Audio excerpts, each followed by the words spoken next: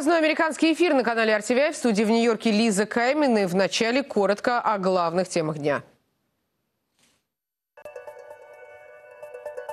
Как минимум 64 человека погибли из-за урагана Ион на Кубе, во Флориде и Северной Каролине. Экономический ущерб оценивается более чем в 100 миллиардов долларов. Американская биржа начала неделю с роста основных индексов. Нефть прибавила более 2 долларов за баррель, Доу Джонс подскочил на 600 пунктов.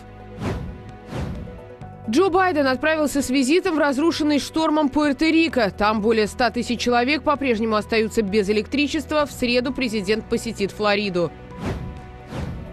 Более миллиона долларов заплатит Ким Кардашьян за расследование комиссии по ценным бумагам и биржам. Ранее она не раскрыла информацию о прибыли, полученной за продвижение криптовалюты. Нобелевскую премию по физиологии и медицине присудили за изучение древних людей. Ее получил шведский генетик Сванте Пааба. Он провел анализ ДНК неандертальца. Джо Байден сегодня посещает Пуэрто-Рико. Латиноамериканское государство, состоящее в содружестве с США, сейчас справляется с последствиями стихийного бедствия. Из-за урагана Ион, которому была присвоена первая категория, без электричества остались, остался почти весь остров. В Белом доме приняли решение выделить 60 миллионов долларов помощи. Деньги направят из средств, заложенных в инфраструктурный план. Как сообщается, средства потратят на укрепление дамб, а также на возведение противопаводковых заграждений. Отдельная статья расходов – создание новой системы, системы о предупреждении наводнений. Я направляюсь в Пуэрто-Рико, потому что об их безопасности мы не смогли позаботиться раньше, и теперь они изо всех сил наверстывают упущенное. Я должен убедиться в том, что меры, предпринимаемые нами, достаточные. Восстановительными работами сейчас заняты и во Флориде. Там преодолевают последствия того же урагана, который оказался одним из самых разрушительных за последние годы.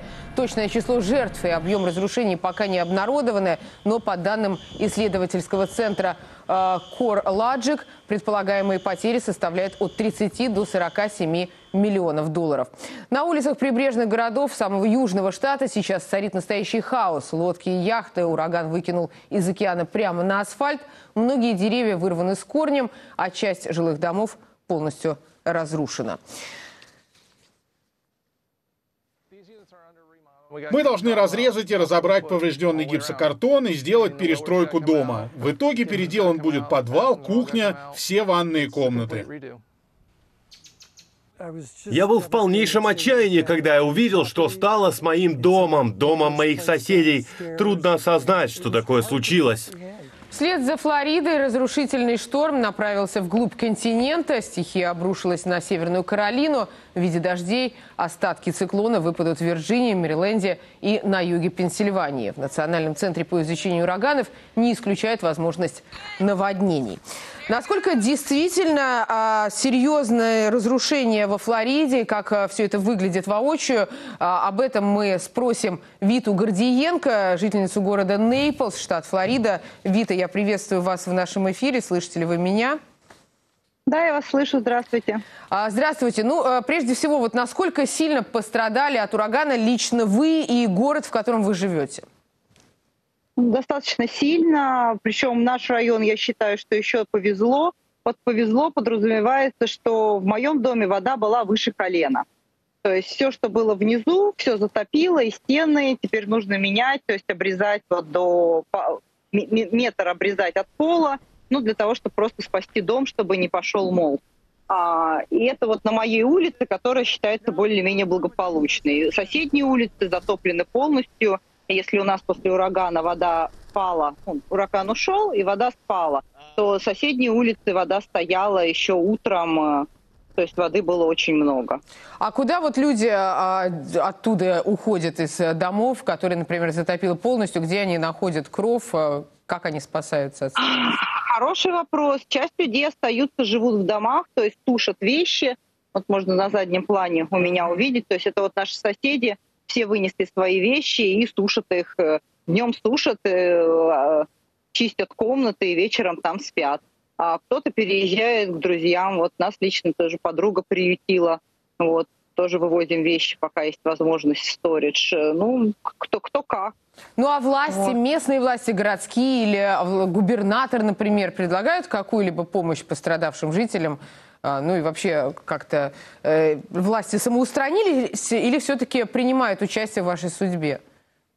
Знаете, мне про власти сложно сказать, потому что вот я уже, по-моему, четвертый день тут э, разгребаю то, что э, то, что есть в доме, я просто не слежу даже за этими новостями. Но я знаю, что у нас организов... организовали пункты помощи, вот. Например, я сегодня там ездила, брала блич, щетки, ну, чтобы это все вот отмыть, продезинфицировать.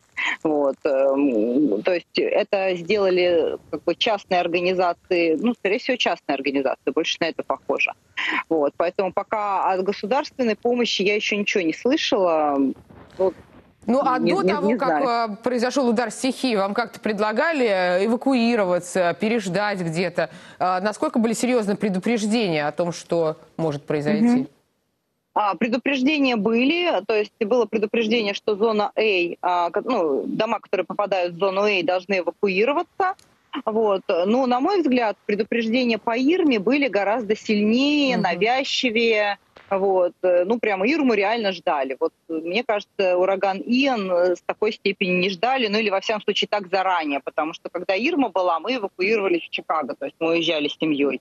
А про Иэн, ну, эвакуация была где-то там за полсуток объявлена, за 17 часов, может А вы как быть. давно ну, есть... живете во Флориде?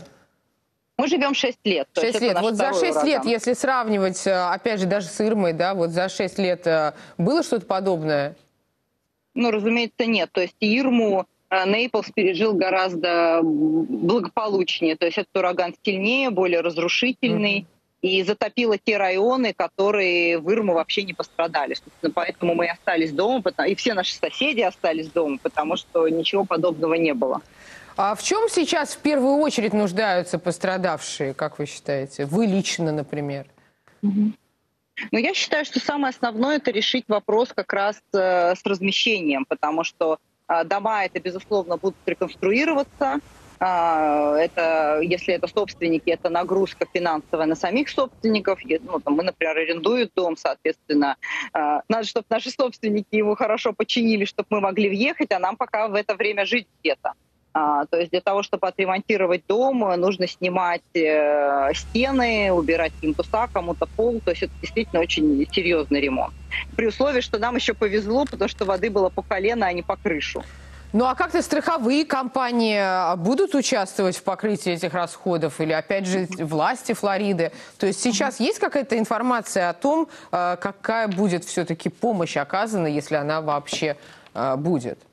Ну вот э, еще раз скажу, что мне сложно это прокомментировать, потому что я просто не знаю, не слежу за новостями. Ну, ваш, точно... ваш дом застрахован конкретно от наводнений? Вот давайте вот, я хотела говорить, сказать, да. да. А, у моих собственников, так как мы снимаем дом, угу. дом не застрахован ни от наводнений, ни от любого дэмиджа внутри, поэтому это чисто их расходы. Uh-huh. Вот, как-то скажется тоже на мне, как на арендодателе. Ну, Слушайте, говорят, что в Нью-Йорке выгоднее снимать жилье, нежели а, покупать его. Как выясняется, а, во Флориде в некоторых ситуациях похожая история.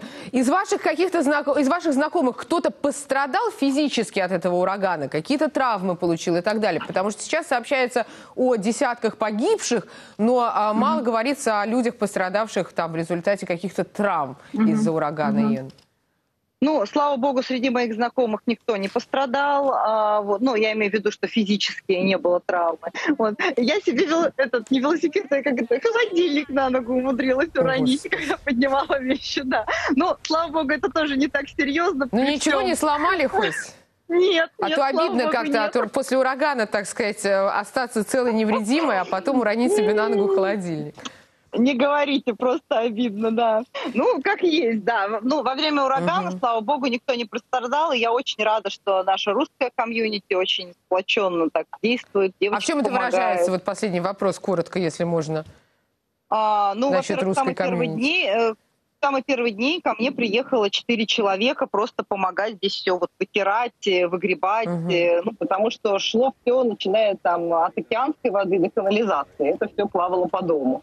Вот. И каждый день кто-то, ну, кто-то чем-то помогает. Мгм. То есть кому-то вещи предложили привезти, то есть подруга предложила у нее пожить и кормить, ну, то есть там вентиляторы привозят.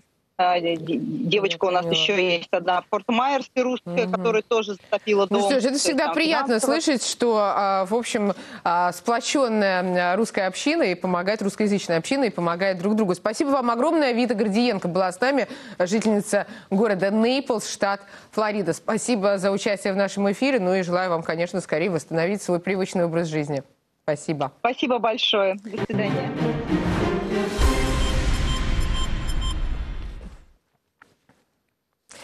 Сегодня в нескольких чатах онлайн прошла информация о якобы начавшейся военной акции Пекина против Тайваня. Поскольку этот регион очень важен э, для всей планеты и совсем непростой, новостная служба нашего канала, естественно, стала узнавать, что происходит на самом деле. Результат такой. США на данный момент не видят непосредственной угрозы вторжения армии Китая на Тайвань, однако в Вашингтоне внимательно наблюдают за шагами Пекина по созданию, цитата, новой нормальности. Это была цитата из э, интервью э, с каналу CNN главы Пентагона Ллойда Остина. Днем ранее эту же тему глава Пентагона обсудил со своим австралийским коллегой, министр обороны Австралии Ричард Марлес, э, практически повторил слова Остина. We're seeing that in Eastern Europe. Мы видим, как Китай пытается формировать мир вокруг себя таким, каким мы не видели его раньше. Это создает реальные проблемы для тех стран, которые стремятся поддерживать глобальный порядок. Конвенция ООН по морскому праву, свобода судоходства в Южно-Китайском и Восточно-Китайском морях имеет фундаментальное значение для национальных интересов многих стран. И очень важно, чтобы страны-единомышленники работали вместе для поддержания этого основанного на правилах порядка вокруг Тайваня. Напомню, военные учения рядом с, с островом начались после визита на Тайвань спикера Палаты представителей Нэнси Пелоси. В начале августа этого года Остин заявил, что США видели, как самолеты Китая во время этих учений неоднократно пересекали центральную линию Тайваньского пролива. Также США наблюдают большую активность кораблей Китая в водах Тайваня и вокруг него. Министр также отметил, что на данный момент его канал связи с министром обороны Китая, как он выразился, не открыт. Однако над этим идет работа. На вопрос, э, готовы ли американские военные защищать Тайвань, Остин ответил, что они, военные, всегда готовы защищать наши интересы и выполнять взятые на себя обязательства. Министр повторил, что политика администрации президента США Джо Байдена в отношении Тайваня не изменилась. А, ну что ж, действительно ли а, нету а, вероятности нету опасности вторжения Китая на остров Тайвань? Давайте попробуем разобраться, обсудим это с Сурабом Гупта, старшим научным сотрудником Института американо-китайских исследований из Вашингтона. Здравствуйте, Сураб. Я приветствую вас в нашем эфире. You're welcome. Thank you. Скажите, о какой новой нормальности, вот как выразился Ллойд Остин, он говорит, и каковы перспективы этой новой нормальности?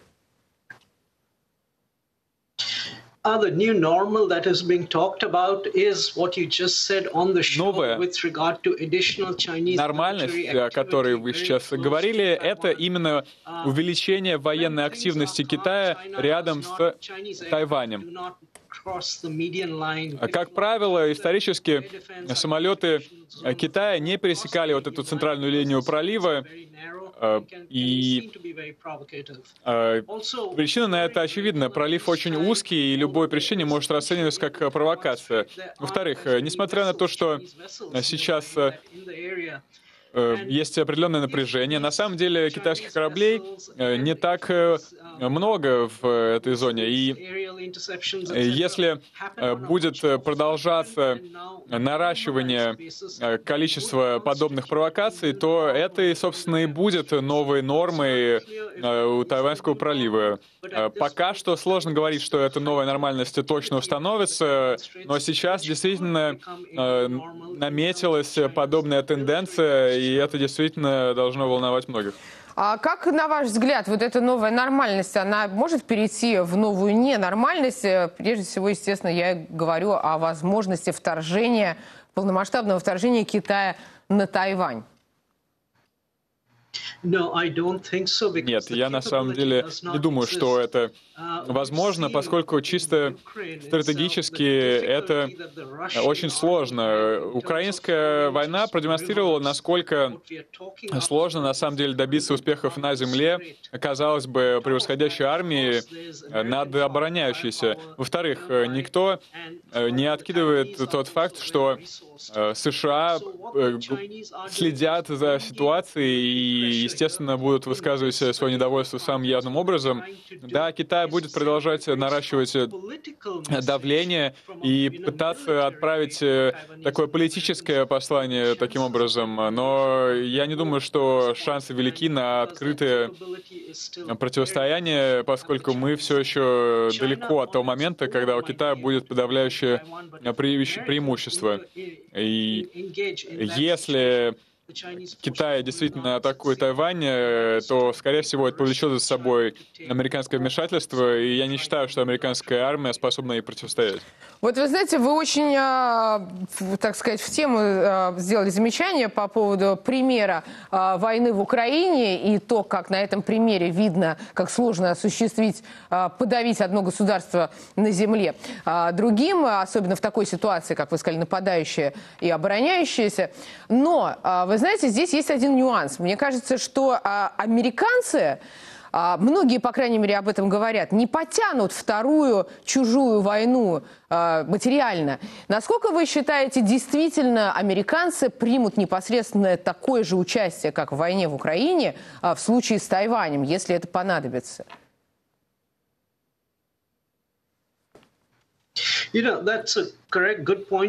Действительно, э, замечательный вопрос. На данный момент э, я сомневаюсь, что США могут э, Э, участвовать в двух таких э, торговых войнах одновременно. И это действительно дает Китаю определенное преимущество в этом отношении. Но я все-таки э, не думаю, что Китай пойдет на такой риск. Это осторожная нация, и на самом деле, вот этот пролив между Тайванем и Китаем, это с военной стратегической точки зрения очень сложное место. И я Э, не думаю, что э, есть какой-то консенсус внутри партии Китая касательно того, стоит ли принимать э, действительно активные военные действия. А для того, чтобы это сделать, действительно нужно полное единение. Вот вы сказали о торговых отношениях. Это тоже такой интересный момент. А если а, пострадали экономическая, пострадала ситуация из-за войны в Украине, то это было, так сказать, неожиданностью. И тут ответственности США в этом, в общем-то, нет. А, например, что касается Китая, то, так сказать, торговая война началась еще задолго до обострения ситуации с Тайванем. И, а, в общем-то, американцы ее сами же, можно сказать, и спровоцировали. Да? Так же, как, в принципе, а, была очевидна реакция Китая на поездку Нэнси Пелоси на Тайвань. Как вы считаете, для чего Америка ведет вот такие странные игры, учитывая, что сейчас и так ситуация непроста? What the US is trying to show is that it is США хочет показать, что будет соблюдать э, свои обязательства перед э, своими партнерами и членами альянсов. Э. Но как вы понимаете, если Китай использует э, э, открытую военную силу, то придется соответствовать своим обещаниям. И я думаю, что США Э,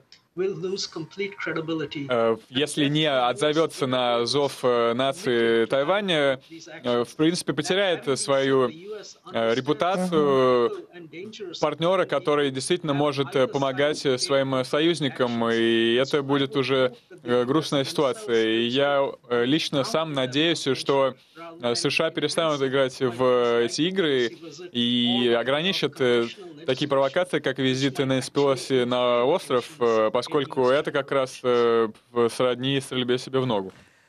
Ну что ж, э, спасибо вам огромное, спасибо за интересную беседу. А, единственное, наверное, все-таки а, я позволю себе задать еще один вопрос, если можно коротко. Все-таки а, перспективы, на ваш взгляд, вот этих учений, они как-то в обозримом будущем закончатся или это будет тянуться, пока что-то не произойдет? И что должно произойти, чтобы они закончились?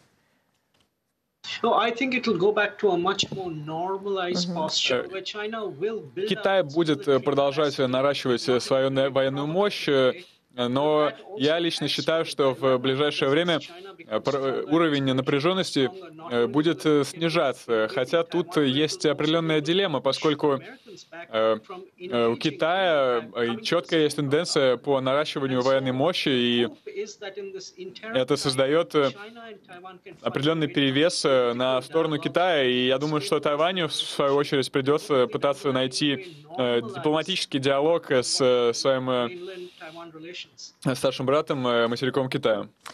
Спасибо огромное. Сураб Гупта был с нами на связи, старший научный сотрудник Института американо-китайских исследований из Вашингтона. Спасибо за то, что уделили нам время. Ну, а мы идем дальше.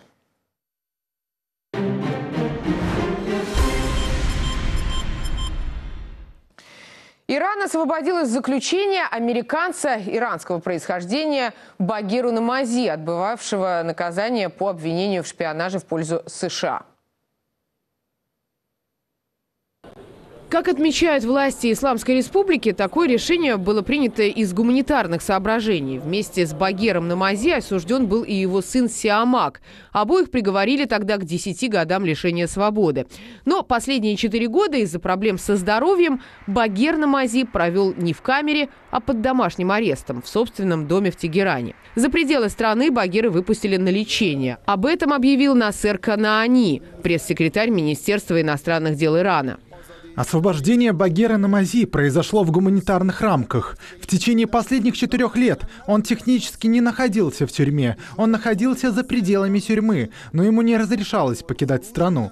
Теперь ему разрешено покинуть Иран. Это было полностью гуманитарное решение, не связанное ни с какими другими вопросами. Под другими вопросами подразумеваются переговоры по ядерной сделке и обмен заключенными. Иран настаивает, что освобождение Багера исключительно жест доброй воли, а не инструмент торга. При этом его сын продолжит отбывать наказание на родине. Что касается его, Сиамака Намази, то он отбывает тюремный срок. Он был отпущен ненадолго, чтобы провести время с отцом, но после недельного отпуска вернется в тюрьму. Сам Сиамак Намази выразил надежду на скорейшее освобождение иранских заключенных из американских тюрем. В середине сентября официальный Тегеран заявил, что готов произвести обмен и ожидает решения Белого дома.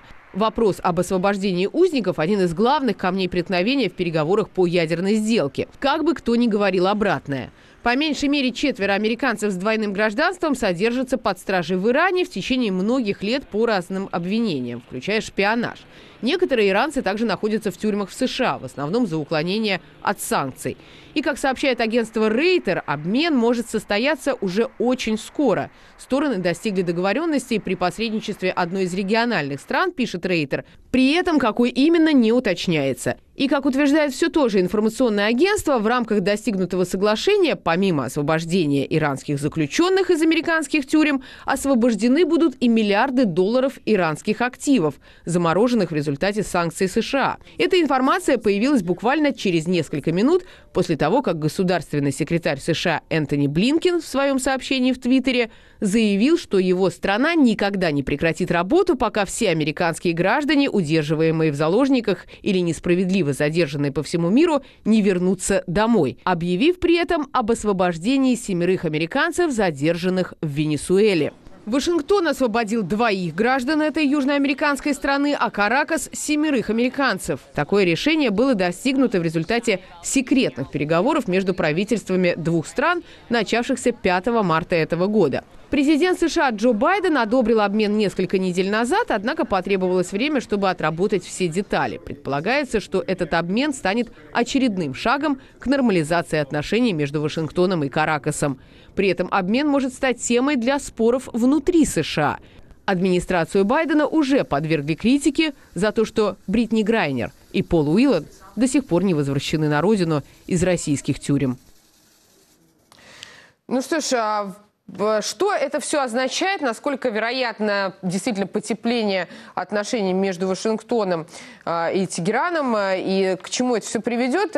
Мы пообщаемся на эту тему с Хушангом Амирахмади, президентом некоммерческой организации Иран-Американский совет, который баллотировался, кстати, на пост президента Ирана в 2013 и 2017 годах. Я приветствую вас в нашем эфире. Спасибо, что согласились принять участие. Спасибо. Спасибо.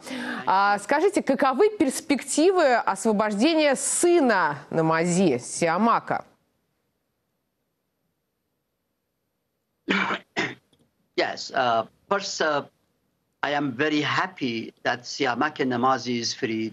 Siamaki Namazi was my student. Во-первых, я рад этому продвижению, и э, Сиамака Намази был моим учеником э, Три года мы вместе э, работали, он получил э, диплом магистра под моим руководством, э, замечательный человек, и я много раз говорил, что никакой он не шпион, он не виновен, и сделал лишь несколько небольших ошибок, и Сиамак Намази — это, на самом деле, замечательный человек, и я рад тому факту, что он освобожден, и это все результат э, переговоров, э, которые шли параллельно с другими важными обсуждениями о проблемах между Ираном и США. И да, есть определенные стремления у людей взять вот это весты от э, этого результата освобождения себе, но на самом деле это обсуждение э, шло э, долгое время, и я не думаю, что это из-за запросов Джо Байдена произошли какие-то освобождения. Это все был долгий-долгий процесс, который продолжался годы между США и Ираном, и financial rewards for Iran. А, а этот обмен э, пленами на самом деле замечательное завершение. Ну вот а, появилась информация о том, что достигнута договоренность именно об обмене. То есть, а, что касается Багир Намази, то это был жест доброй воли, как говорит Иран. То есть они его освободили как бы не в обмен на что-либо, это не инструмент в торгах и так далее. Но опять же, вот, как я уже сказала ранее, появилась информация о предстоящем обмене уже заключенными. То есть э, США отпустят иранских а, иранцы американских. Насколько вот эта появившаяся информация а, об этом обмене, а также о снятии ареста с денежных активов соответствует действительности, по вашей информации или на ваш взгляд?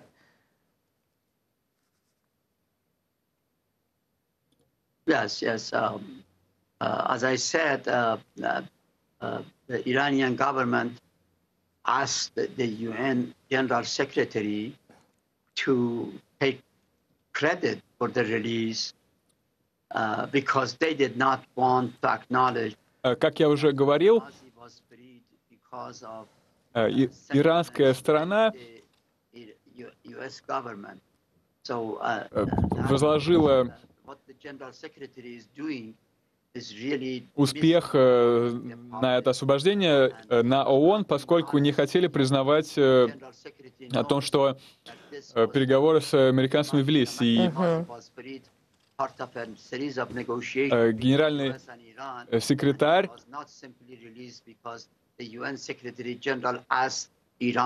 на самом деле не имел никакого отношения к тому, что произошло к этому освобождению. Это лишь ложь, и на самом деле я шокирован тем фактом, что э, э, такие заявления изначально э, произносились, это полная мисрепрезентация информации. И лично я рад, что Сямак Намази был освобожден, и только Багир был освобожден, не Симак. И это действительно положительное э, развитие ситуации, как его э, преподаватель в прошлом. Я рад этому факту, и.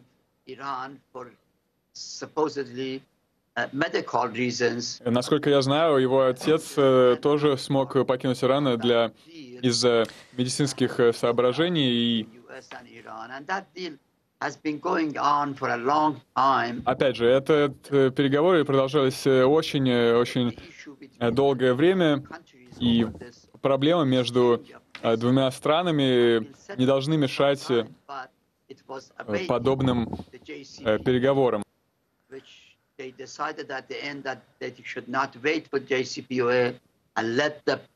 the exchange of prisoners Я не считаю, что переговоры о вооружении должны смешиваться с переговорами о освобождении граждан. Вы знаете, вот а, а, то же самое, в принципе, а, и иранские власти произносят, и они не хотят, чтобы это как-то а, было, так сказать, в одной связке. Но, тем не менее, насколько все-таки, как вы считаете, зависит ядерная сделка от вот подобных шагов? Например, как обмен заключенными, о котором идет речь, и освобождение, а, а, освобождение активов денежных? Well, again, I mean, the negotiation over the prisoner exchange and JCPOA Опять же, переговоры об обмене пленными и переговоры о вооружении Это абсолютно э, параллельные процессы, которые не э, взаимосвязаны между собой. А Уже долгое время назад э, было решено разделить эти проблемы, They did not agree on the terms of return И- on either side to the JCPOA, but on the exchange of prisoners, they had already agreed a long time ago that this go this should Касательно а, обмена пленами, э, And положительная э, динамика наблюдалась уже довольно долгое время. И в, в разговоре о all will lead to some opening on the negotiation э, совместном э, всеобъемлющем плане действий никакого обмена пленными не, прозу- не подразумевалось.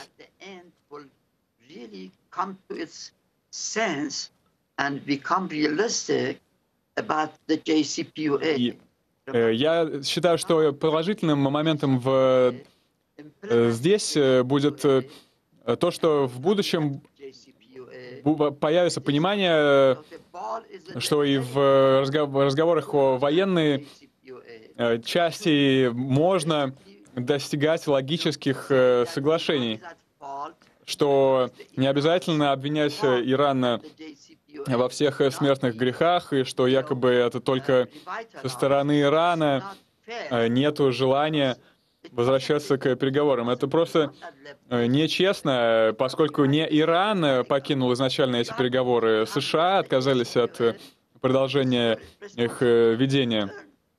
Я считаю, что если США изначально вышла из разговоров о совместном всеобъемлющем плане действий, то это США должны предпринять первый шаг к возвращению в эту программу. And become more realistic about returning to JCPOA. Нужно быть реалистами. Ну что ж, э, спасибо вам огромное, спасибо за участие в нашей программе. Я напомню, Хушанка Амирхмади был с нами, президент некоммерческой организации «Ирано-Американский совет», э, который баллотировался на пост президента Ирана в 2013 и 2017 годах. США разрабатывают возможные сценарии в ответ на эскалацию конфликта в Украине. Особое внимание уделяется возможному потенциальному применению России тактического ядерного оружия. Верховный суд США в понедельник отказался заслушать иски Миссури и девяти других штатов, которые оспаривают мандат Байдена на обязательную вакцинацию против COVID-19 для медработников. ОПЕК Плюс рассматривает возможность сокращения добычи нефти до 1 миллиона баррелей в день для укрепления цен на нефть. iPhone 14 сообщил спасателям о серьезной автомобильной аварии в Небраске, где погибли 6 человек. У одного из них сработала новая функция автоматической отправки сообщения о ДТП в 911. Пенсильвания может получить 400 миллионов долларов за развитие проекта, нацеленного на прекращение утечки метана. Технология будет применяться при устранении неиспользуемых нефтяных скважин.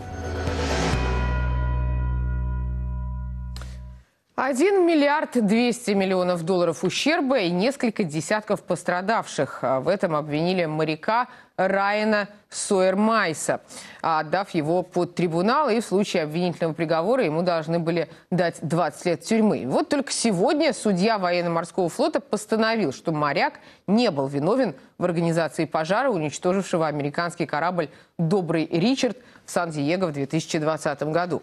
Решение вынесено после девятидневных слушаний. Они проходили на военно-морской базе Сан-Диего. Подсудимый Райан Сойер Мейс э, на оправдательный приговор отреагировал эмоционально. Он расплакался и принялся обнимать свою группу поддержки. На момент инцидента обвиняемому было всего 19 лет. Ему инкриминировали поджог э, картонных коробок в одном из трюмов судна. По версии прокуроров, Мейс совершил поджог умышленно из соображений мести. Мотивом обвинители посчитали э, предшествовавший отказ юному моряку в возможности стать членом спецотряда морских котиков. Я благодарен, что это наконец закончилось. Это были долгие два года. Я ждал этого момента очень долго. Я могу сказать, что последние два года стали самыми тяжелыми за всю мою молодую жизнь. Я потерял время, которое мог бы провести с друзьями. Я потерял друзей. Я потерял время на общение со своей семьей. В приговоре сказано, что причина произошедшего э, стечения обстоятельств пожар можно было предотвратить. Персонал корабля был недостаточно обучен, экипаж не умел технически правильно обслуживать судно. Также руководящий состав отдал неверные команды. Во время горения температура на борту корабля местами достигала 649 градусов по Цельсию. Стоимость уничтоженного судна оценивается более чем в 1 миллиард долларов. А, Ну и сейчас на связи с нами а, Гэри Бартел, адвокат Райана Сойера, управляющий партнер а, коллегии военных адвокатов из Сан-Диего, Калифорния. Здравствуйте, я вас приветствую в нашем эфире. Спасибо, что согласились принять в нем участие. Как вы оцениваете вердикт суда?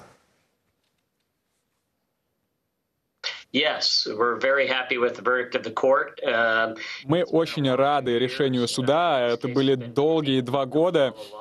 Э, С самого начала данного э, дела мы знали, что э, Райан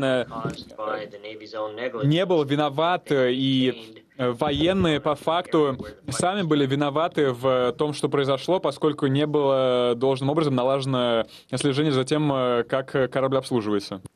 А Если а, вот обратиться к приговору, а, то правильно ли я понимаю, что именно стечение обстоятельств стало причиной а, пожара и конкретного виновного лица, в общем-то, не установлено в итоге?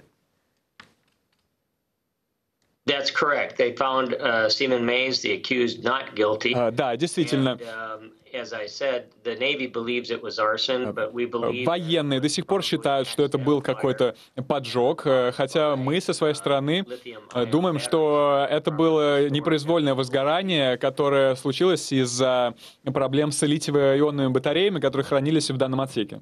А по каким причинам именно Райана заподозрили изначально в этом поджоге? Что явилось, так сказать, главной уликой, например, в- у обвинения? we believe our client became a suspect in the first Мы place. считаем, что наш клиент стал подозреваемым э, изначально, потому что э, военные, военно-морские силы не готовы признавать свои собственные недочеты в своих процедурах, и им нужен э, крайний, извиняюсь за Мгм. просторечие. Именно поэтому так и получилось. А, Что касается Райана, он продолжит а, теперь службу на флоте? Что с его карьерой дальше будет?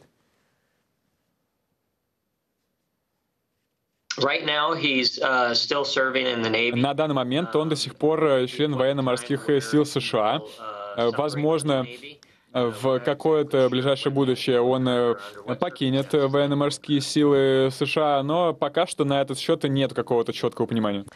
А что касается компенсации какой-то, например, за моральный ущерб, все-таки два года э, человек провел вот в таком стрессе, э, считая, что его приговорят к 20 годам лишения свободы. Может ли ваш доверитель рассчитывать на какую-то компенсацию за вот подобный моральный ущерб? К сожалению, по закону США э, не, ника- нет никаких э, э, репатриаций в данном смысле, и да, он пострадал, но что есть, то есть. Ну что, спасибо вам большое. Гэри Бартел был с нами, адвокат Райана Сойера, управляющий партнер коллегии военных адвокатов из Сан-Диего, Калифорния. Спасибо, что уделили нам время. Ну, а мы идем дальше.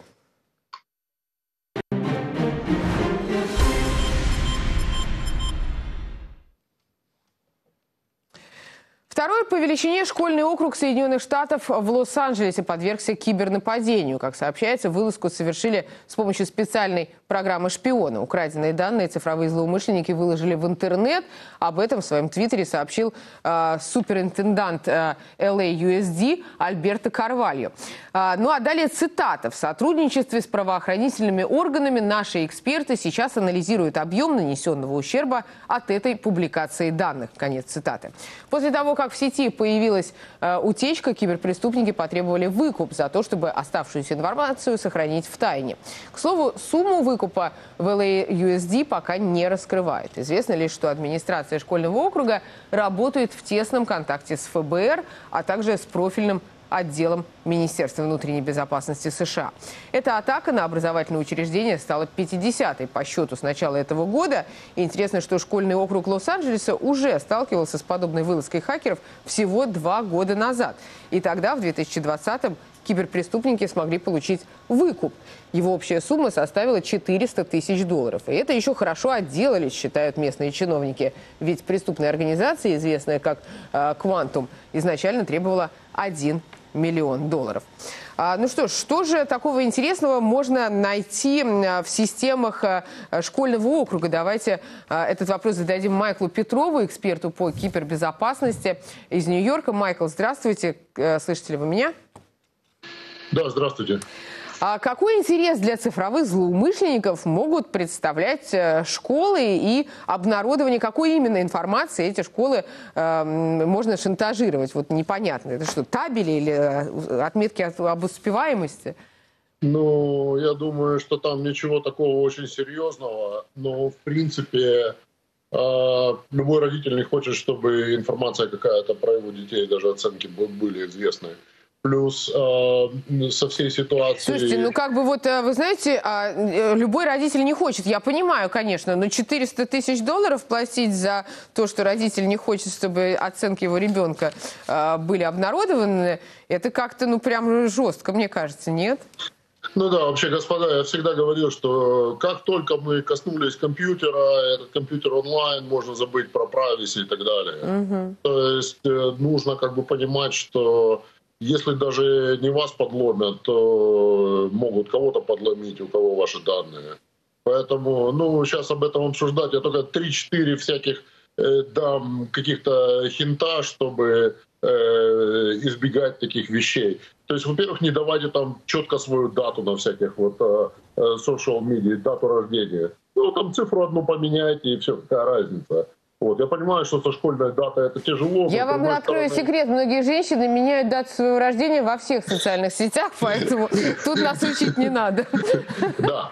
Вот. Но очень важно, очень важно также э, паспорты на каждый, на каждый сайт иметь разные, потому что если будет один, у вас какой-нибудь незначительный сайт подломит, а у вас такой же паспорт на каком-нибудь банке и э, могут, могут ломануть все, и потом вам нужно вспоминать, нужно пользоваться вот этими всякими пасвордовскими этими системками, вот Apple, который Google э, и так далее. Вот эта информация, там я, я быстренько прочитал, там W9 формы, где всякая tax information может быть, кто сколько получает, там может, естественно, uh-huh. быть всякие скандалы насчет э, вот этих вот э, substitutes, которые работают, Э, всякие вот эти вот government сервисы, которые предоставляют нужно, не нужно. То есть там, кому интересно, могут поковыряться. Вот такого прямо, чтобы какая-то трагедия из этого.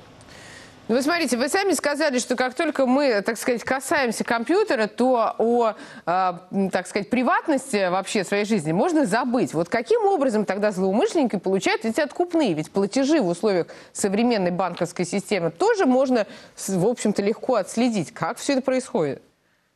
Ну, ну, платежи сейчас э, с криптовалютой, такой бум-то произошел в основном из-за крипты, потому что криптой можно более-менее э, спрятаться за всякие миксеры там и так далее. То есть как-то как можно получать э, вот эти вот ренсом деньги и, и спрятаться. А вот, вот самый тупой вариант, и я бы советовал на него не реагировать. Очень часто мужчины получают такие имейлы, что вот мы там поставили вирус на ваш телефон и увидели, как вы там сами себя удовлетворяете, смотря порно-сайты, и все контакты скопировали, разгнали, и если вы не заплатите... Слушайте, для этого есть любовница, как в случае с Дзюбой. Тут никаких хакеров не надо, знаете. Шершеля как говорится. Спасибо вам, Майкл. К сожалению, у нас совсем не заканчивается время. Майкл Петров был с нами, эксперт по кибербезопасности Спасибо, из Нью-Йорка. Оставайтесь secure. Спасибо большое. Ну, а мы переходим к последним темам э, сегодняшнего часа.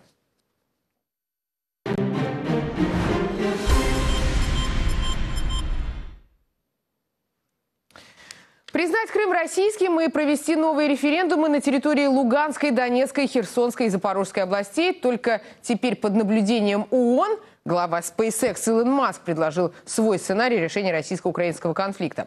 Свой план бизнесмен опубликовал в Твиттере. Заключение перемирия между двумя странами, по мнению Маска, а, также возможно при соблюдении еще нескольких условий.